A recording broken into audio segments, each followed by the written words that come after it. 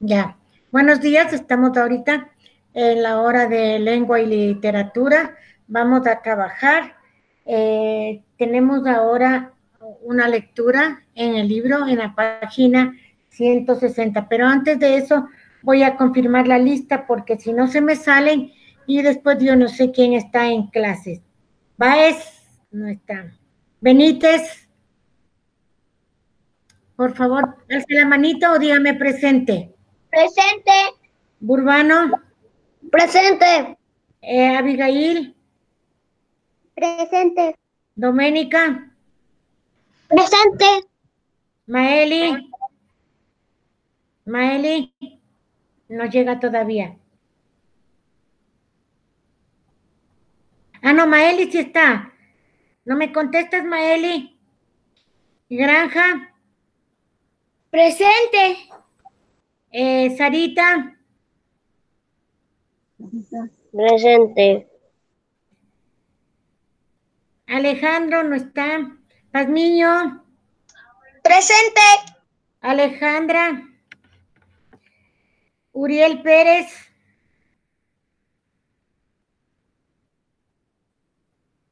Yo le vi que ingresó. Presente. Eh, Santiago. Presente. Naomi. Presente, profe. Eh, Lian. Presente. Sofía.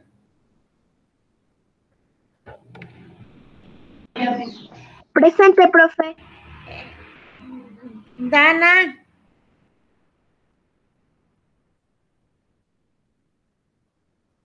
Dana Presente, profe. y Sebastián.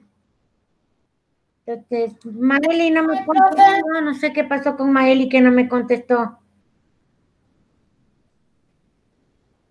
Voy a ponerle un asterisco que no me ha contestado la, la asistencia.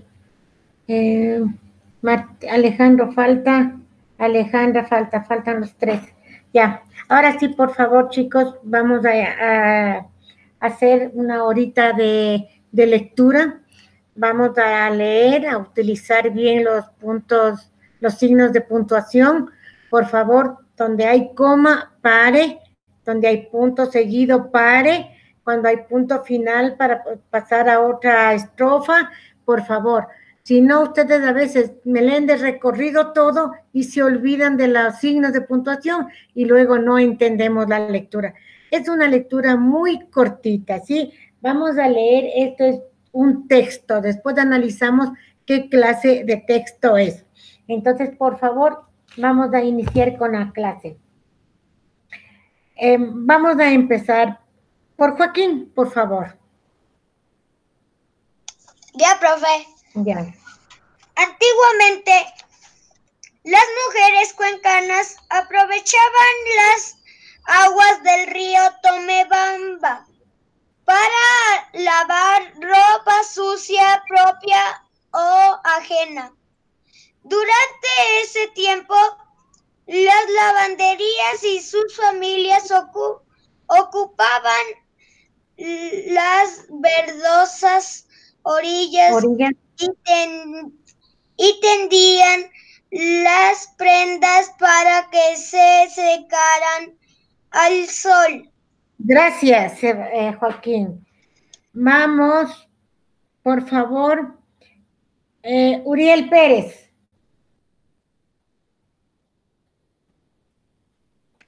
Ya, profe. Además era un buen momento para compartir un mote, pillo o café preparado de olla sobre carbones encendidos. Sigo Sí, por favor. encendidos. Era, era el disfrute familiar en medio con los colores que se lucían en las orillas cuando las lavanderías y sus hijos ocupaban estos espacios. Era, era maravilloso. Espera un momentito. Pues te saltaste, creo. Porque dice, era el disfrute familiar en medio de la naturaleza junto al río. Hasta ahí. Ya. Gracias, Uriel. Sigue Santiago. Cada lavandería tenía sus propios clientes. No, no, no. Santiago, estamos arriba. El paisaje se Es que, creaba. es que yo me salté Santiago. El paisaje se, que se creaba con los colores que se lucían en las orillas cuando las lavanderas y su hijo ocupaban estos espacios era maravilloso. Ya, gracias. Naomi. Vamos toditos, poquito a poquito, por favor. Naomi. Cada lavandera tenía sus propios clientes y lavaba muchas piezas de ropa. Este trabajo era un buen negocio. ¿Sigo? Sí. Las lavanderas llegaban al río con sus canastos, sa- saquillos de ropa y jabón azul. Se ubicaban en sus piedras preferidas, generalmente las más grandes de la orilla, las más grandes de la orilla del río, y entre conversaciones, risas y canciones, la jornada de trabajo se hacía más liviana. Gracias. Liam, por favor.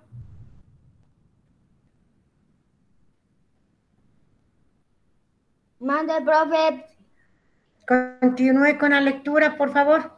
poco a poco la cantidad de trabajo fue disminuyendo debido al uso más frecuente de electrodomésticos como lavadoras y secadoras que las amas de casa adquirían.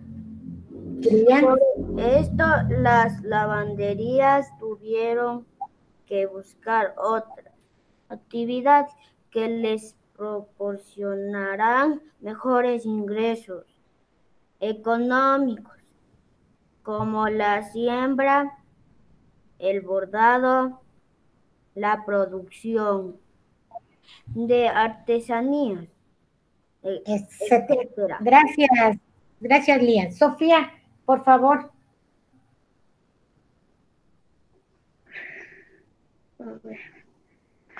Ahora hay muy pocas mujeres lavanderas en Cuenca que alegran y dan color a las orillas del Tomo, Tom- Tomebamba. Tomebamba. Ya, tú mismo, Sofía. Ya. ¿Me puedes decir más o menos, viendo el dibujo, sí? Interprétale todo el dibujo tú. El gráfico. Yo creo que sería muchas señoras con sus hijos y lavando ropa de colores. Ya, lavando ropa de colores. Ya, muy bien. Em, ¿En dónde, em, en dónde lavaban la ropa? En el río, el río Temobamba. Tome, Bamba. Gracias, Sofía. Eh, vamos, Dana Soria, vamos a leer nuevamente la primera parte, por favor. Antiguamente las mujeres cuencanas aprovechaban las aguas del río Tomebamba para lavar la ropa sucia, propia o ajena. Ya, gracias, Daín. Ya, gracias, Dana. ¿Me puedes decir tú esa partecita qué entendiste? Solo esa partecita. Que las mujeres antiguamente en Cuenca lavaban ropa en un río que se llamaba Tumebamba. Aprovechaban y lavaban su ropa Ya. sucia o ajena. ya, propia o ajena. Muy bien, Dana, gracias. Sebastián, por favor. El siguiente. Ya, profe. Ya. Durante Durante ese tiempo, las lavanderas y, y sus familias ocupaban las verdosas orillas y, teni- y tenían, tendían a- las prendas para que se secaran al sol. ¿Puedes decirme qué entiendes de esa partecita? Em, que las, que en ese tiempo, que en ese Las lavanderas, Las lavanderas y sus familias ocupaban las verdosas orillas eh, para, para secar la ropa al sol. ya. Entonces lavaban la ropa en el río, ¿sí? Y luego ponían en las ramas que se veía ahí en las partes de la orilla del río, habían plantas, hablemos así, y ponían la ropa sobre ellas para que se sequen ah, con los rayos de- del sol. Claro, porque no podían llevar la ropa mojada. Entonces, mientras iban lavando, iban poniendo a secar. Gracias, Sebastián. Eh, Benítez, Nicolás, lea por favor. Profe, por favor, ¿puedo ir al baño? Corra. ¿Ya Eh, puedo leer, profe? por- Sí, ¿Puedo una suge- un ratito, Nicolás, por favor. Eh, yo les pido de favor de que no tomen el café ahorita, yo les estoy mirando y hace, les pro- nos hacen provocar a los que estamos viendo. Sí, en ese caso, un ratito apaga la cámara, acabate de tomar el café y vuelves a encender. Ya. Eh, por favor, Nicolás, siga. Además, era un buen momento para compartir un motepillo o café preparado en ollas sobre carbones encendidos. Era Ya, el gracias. disfrute familiar Nicolás. Gracias, Nicolás. ¿Qué entendiste esa partecita? de que de que la familia la familia la familia antigua cada cada vez comía motepillo. No, pero algo más importante.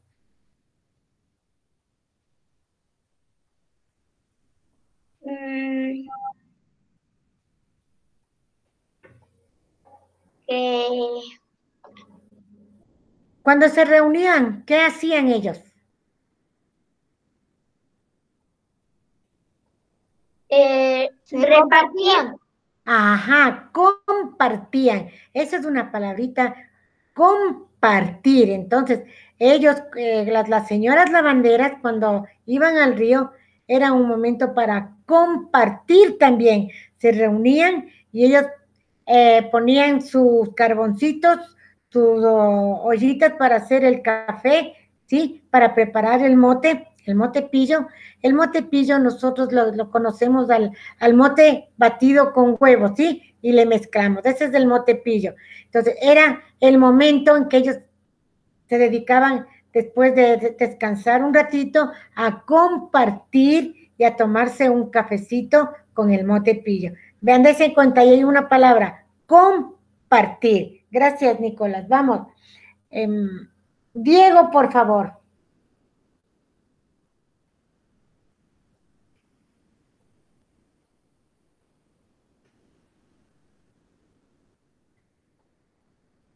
Diego. No sé qué. Por favor, sigue la lectura. Pon atención, amorcito. Bien. Era disfrute. Nicolás del micrófono.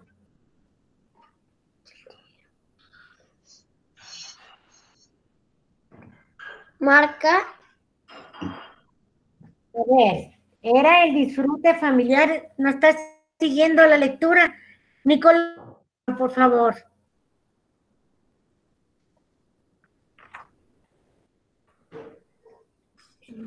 Mano, hasta que encuentres dónde estamos. Abigail, por favor. No, no sabes. Era el disfrute familiar en medio de la naturaleza junto al río. Siga, un poquito más. El, el paisaje que se creaba con los colores que se lucían en las orillas cuando las lavanderas y sus hijos ocupaban estos espacios. Era, era maravilloso. ¿Puedes decirme algo? Que, que será un- que, que ese era un buen monumento que, las, que los familiares, que los familiares estaban en medio de la naturaleza, junto al río. Ya, muy bien, allá ibas, y así, ¿qué más? Y, y el paisaje que se creaba con los colores que se lucían en las orillas y las lavanderas y sus hijos ocupaban esos esos espacios, Esos espacios.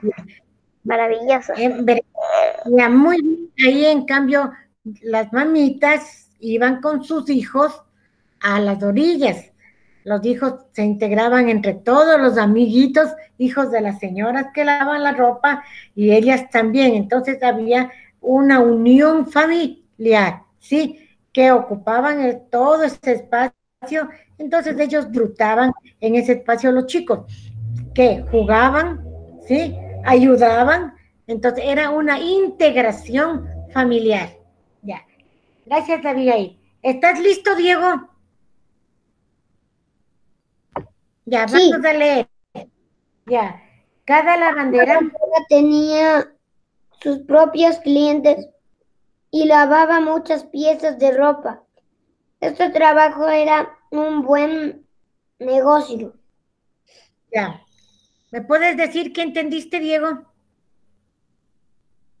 Que las lavanderas tenían sus propios lugares para, para lavarles la ropa a las personas. Ya, bueno, cada una tenía ya sus clientes. Entonces, los clientes iban, le dejaban la ropa y ella llevaba a lavar, ¿sí? Y ganaban, Ropa. ya, y ganaban dinero, ¿sí? Por lavar la ropa ajena. Eh, Doménica Cuello, por favor, sigue. ¿Piensas? ¿Piensas? Las lavanderas, Las lavanderas llegaban al río con sus canastos, eh, canastos, saquillos de ropa y jabones azules. Se ubicaban en sus piedras preferidas. preferidas. Siga. Generalmente las más grandes de la orilla del río y entre conversaciones, risas y canciones. La jornada del trabajo se hacía más liviana. Ya. Tú mismo, cuando iban al río, ¿qué hacían las señoras lavanderas? ¿Qué hacían las señoras lavanderas primerito cuando llegaban al río? Lavan la ropa, ya, ya llevaban la ropa a lavar, pero ¿qué buscaban dentro del río primero?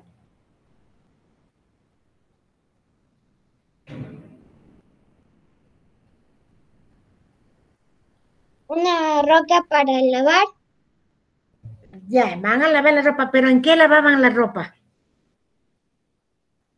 en una roca. Ah, en las piedras, ya, en piedras, dice. Ahí lavaban la ropa, buscaban la mejor piedra, o ellas ya tenían, sabían a qué piedra iban a lavar su ropa, ya. ¿En qué llevaban la ropa? en canastos y saquillos. Ya. ¿Qué será saquillos? No sé, Ah, ¿qué será saquillos? Lo que nosotros vulgarmente decimos, los costales, ¿no es cierto? Los que metemos ahí. Exactamente, ya. Seguimos. Tú mismo. Ya. Durante lo que ellas lavaban, ¿qué hacían ellas? reían, Cantaban, se reían, ya. cantaban, eh, cantaban, reían y conversaban.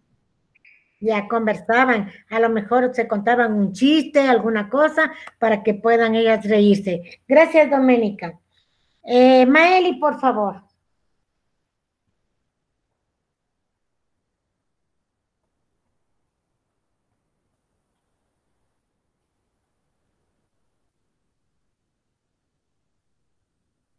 ¿No está Maeli? Bueno, seguimos. Mateo, por favor. Poco a poco, poco a poco, la cantidad de trabajo fue disminuyendo debido al uso más frecuente de electrodomésticos, como lavadores, lavadoras y secadoras, que las amas de casa adquirían. Por esto, las lavanderas tuvieron que buscar otras actividades que les proporcionaran mejores ingresos económicos. Económicos. Económicos, como la siembra, el bordado, la producción de artesanía, etcétera. Ya, a ver, eh, Mateo. Ya poco a poco las lavanderas dejaron de ir al río. ¿Por qué? ¿Qué compraban? Eh, compraban lavadoras, ¿Qué más? lavadoras, secadoras. Ya compraba lavadoras y secadoras. Entonces ya las lavanderas ya no tenían qué trabajo. Ajá. Y Y, vieron de- que, que ahí qué más. y- que las amas de casa adquirían. Ya, muy bien. ¿A qué se dedicaban después de que ya no iban a lavar la ropa? Electrodomésticos. ¿No? ¿A qué se dedicaban? A la siembra, Ya, a la siembra, el bordado, al bordado y qué más. y artesanías. Y a la producción de artesanías. Ya. Muy bien, entonces hasta ahí estamos en la lectura. Vamos a la siguiente Profe. página. Profe, Ma- Mande. ¿Puedo ir al bañito? Por favor. Bueno, rapidito y regresa. Eh, vamos a la siguiente página. Eh, vamos, Diego. Vamos a leer la primera pregunta. Marca el problema que enfrentaron las lavanderas. ¿Ya? El río se quedó con poca agua, las piedras preferidas ya no eran suficientes, poco a poco había menos ropa que para lavar. La Ya. última. Ya, la última. Muy bien, Diego.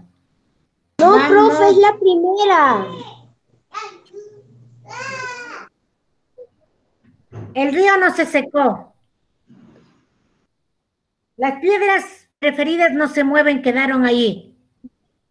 Y poco a poco ya no tenían ropa para lavar. ¿Por qué no tenían ropa para lavar? Porque ya compraron las lavadoras y las secadoras. Abuelo, Em, Abigail, vamos con la pregunta 2. Res- responde. ¿Qué causó que esta tradición cuencana casi desapareciera? Ya. Entonces, ¿por qué desapare eh, ya no había las lavanderas? Porque ya mucha gente, ya porque la gente compraba esos, esos electrodomésticos, la, la, lavan- la lavadora y la secadora. Y Ya, secadora. ya, muy bien. Escriba en esa línea. El uso cada vez mayor de lavadoras y secadoras. El uso, Profe, m- mande. profe, yo puse, habían electrodomésticos y arrendaban lavadoras y secadoras. Ya, bueno, el uso cada vez de mayor de la lavadora, usaban ya, compraban los electrodomésticos, lavadora y la secadora. Bueno, ya ahí ponga. Escriba, Santiago. ¿Qué pongo, profe?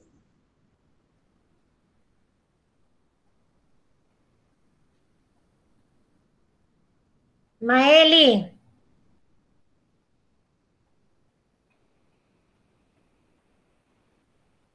Ya.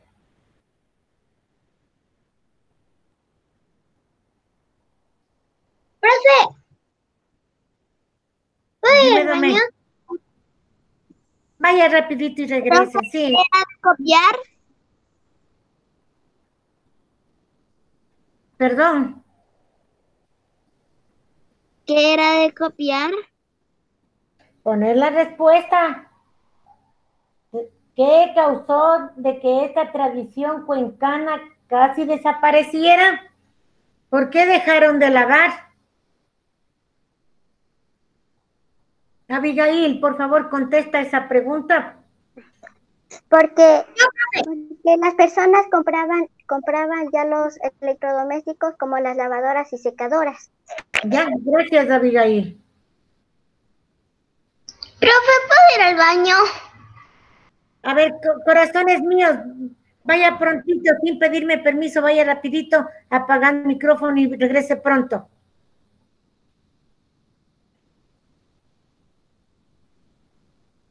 Ya. Eh, se conectó ya Abigail. Ya Sarita Guerrero. Sí, profe. Ya. Por favor, va a leer la, la número tres. Al, al quedarse sin ropa para lavar, ¿cuáles fueron las soluciones que buscaron las lavanderas? Ojalá. Ya. ¿Qué soluciones buscaron, Sarita? Que mm, esto mm, ¿A qué se dedicaron las, las damas de casa después de lavar? A otros trabajos. A ver, que déjale que piense. A ver, Sarita, está en el libro casi al último. Revísale. ¿A qué se dedicaron? tuvieron que buscar otras actividades que les pro- proporcionaran mejores ingresos ¿Cómo? económicos, como la siembra, el bordado, la producción ante, de artesanías, etcétera. Ah, muy bien. Entonces, como ya dejaron de lavar, eh, se fueron a sembrar, ¿sí? Ha- Hacían un huerto para sembrar, para producir. Eh, se dedicaron al bordado, bordaban las blusas, ¿sí? Bordaban las faldas. Y la producción de artesanía, se dedicaron a hacer manualidades con mullos, también manualidades pequeñitas con, utilizando la paja toquilla, hacían inclusive sombreros. Entonces, eso hicieron cuando dejaron de la Ahora la bisutería. ya eso. Vamos a dibujar la siembra, el bordado, la producción de artesanías. Dibuje, por favor. Ahí es creatividad suya.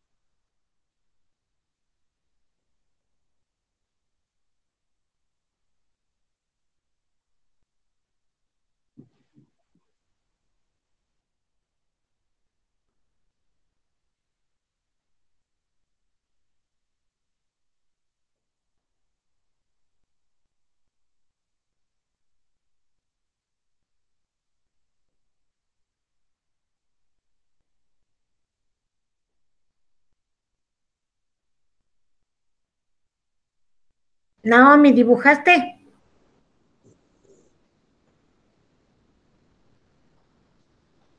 En, en la siembra, hagan como que están haciendo surcos para poner alguna semilla para sembrar. En, el bordado, eh, haga la creación de poner una blusa con dibujitos y una persona al lado que está bordando, como que está cosiendo. Ahí es la creatividad de usted. Y la producción de artesanías que están haciendo collares o que pongan al lado el material o que están haciendo un sombrero. mire cómo yo hice. Dóblale al libro, mi amor, para poderle ver.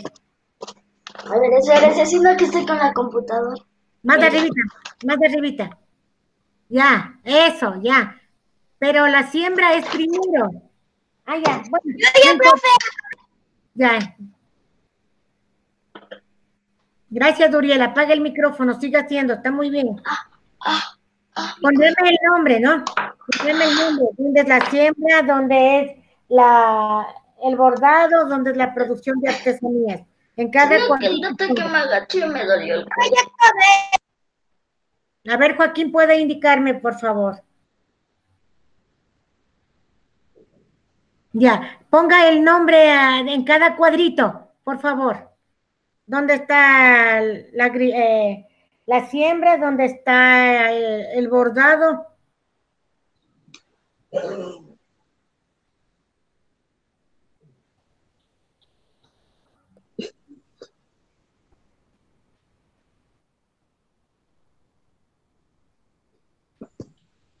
Ya terminé, profe.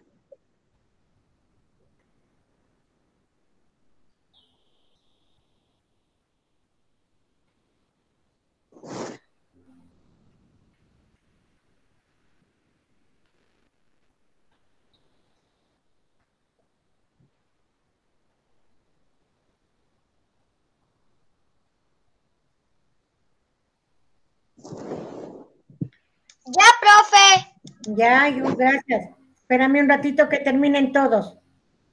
¿Ya terminaron? Maeli. Maeli. Sí, profe. Mi amor, te estoy llamando desde hace un momento, no me contesta. Lea las cuatro, por favor. Ok. ¿Qué dificultades crees que enfrentaban las Escribe tres y justifícalas. Ya, lee la que está puesta ahí. Dolor de espalda porque la posición del cuerpo no permite tener la espalda recta. Esa es la primera. Ahora vamos a poner una segunda. El momento en que están en el agua, ¿sí? ¿Qué les pasa? A ver, contésteme primero para armar. ¿Qué les pasa mucho tiempo estando en el agua? ¿Se enferman? Nos arrugamos. A ver, por favor. Tiene mucho frío. Se arrugan nuestros Pidiendo la palabra, por favor. Estoy con Maeli. A ver, Maeli, ¿qué les pasaría? Está mucho tiempo en el agua. Se enfermarían. Se enfermaría, ya, muy bien. Ya, ¿qué pasaría con las piernas? Enfermarían. Ya, les dolería mucho. Entonces, vamos a, a poner, se enfermarían por estar mucho tiempo en el agua.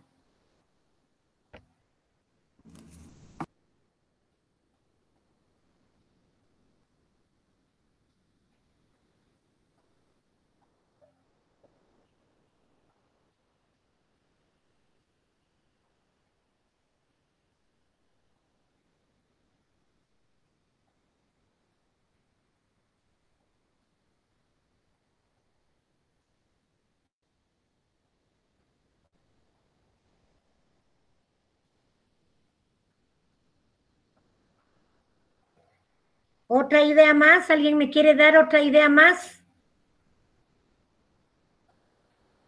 ¿Alguien me quiere dar otra idea más? ¿Qué más pasaría por lo que pasan eh,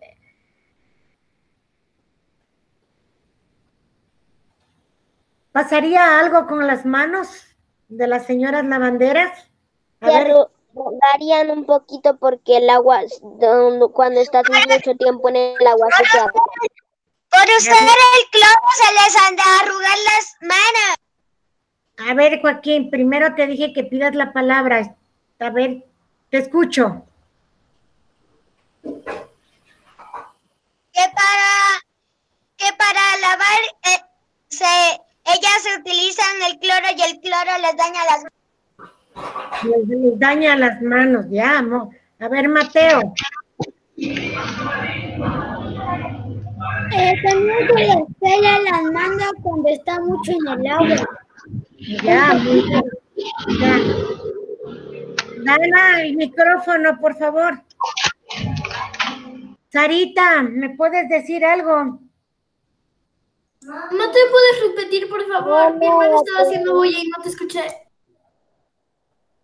Eh, apaguen los micrófonos. Sarita, estamos con Sarita. Luego voy contigo, Naomi. Sarita, Sí, profe. bueno, eh, contéstame, ¿qué más pasaría con las señoras que, que lavan en el río? No sé, profe. Bueno, vamos, Naomi. Contéstame tú, por favor. No, profe, yo no quería decir nada. Yo solo no le escuché al Mateo. Por eso le estaba diciendo que repita, por favor. Ya, lo que el Mateo decía es que les afecta a las manos mucho tiempo estar en el agua. Hay una enfermedad que se llama artritis, que les molesta aquí en los deditos. Se les empieza a hacer unas cosas gruesas o a virarse los deditos o ya no pueden coger mucho de lo que estaban mucho tiempo en el agua. Ya, a ver. ¿Qué más podría pasar?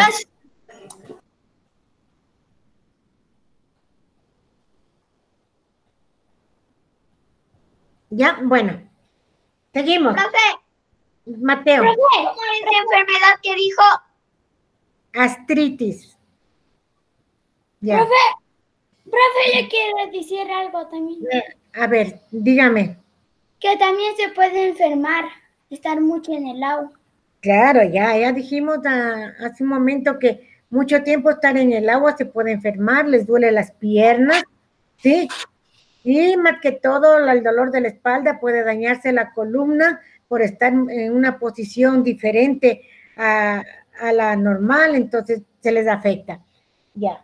Ah, Sarita, vas a leer lo que dice el texto. Al lado derecho. Ok, profe. El texto. Expositivo problema solución. Presenta información sobre un problema y propone una o varias alternativas de solución. Ya. Este es un texto expositivo porque nos están dando a conocer lo que hacían las, las, las señoras lavanderas en el río Tomebamba. Entonces, pero ahora están dando unas soluciones para que mejoren la situación de ellos. Esto es un texto expositivo. Ya. Eh, la tarea que les voy a enviar es les voy a enviar Lectopolis, ¿sí? Les envío por la plataforma una lectura, ¿sí? Vamos a hacer Lectopolis hoy día. Y muy comedidamente les pido para la siguiente hora que tenemos matemática, con el libro, eh, van a tener una, una hojita, ya, pero lo que voy a hacer ahora en, en matemática es explicarles el plano cartesiano. Voy a pasar solo diapositivas y voy a ir explicando.